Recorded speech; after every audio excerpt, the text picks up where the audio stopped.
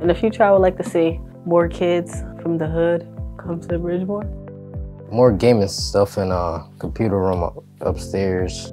I would like the bridge to have multiple locations around Coatesville or Johnnytown or whatever.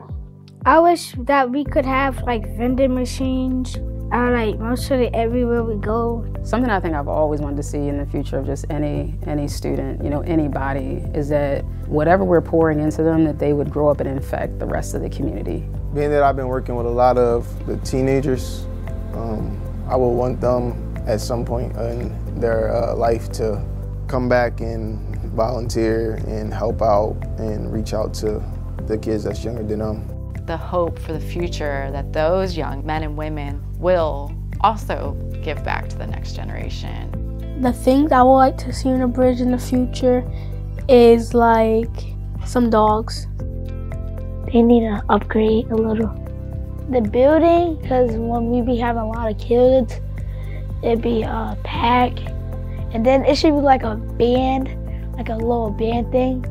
Oh yeah, and we should have like a football field.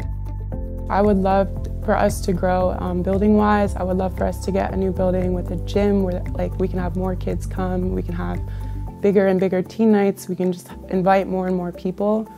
I hope to see us one day with smaller tutoring spaces and classrooms and areas that are quiet and able for students to really focus on their schoolwork and work in small groups with tutors and volunteers. I mean, if it was possible for them to obtain a bigger facility to be able to do more activities with the kids, that would be great. Uh, I would say more kids, uh, most definitely a basketball court. A pool. And, you know, more people. It would be cool if in the future we'd be able to get a basketball court and we could really focus more on like some sports aspects because I think we are doing really well with academic and maybe another way to connect with kids is sports. I want to see the bridge bring more people here. Growing as a family, which we are.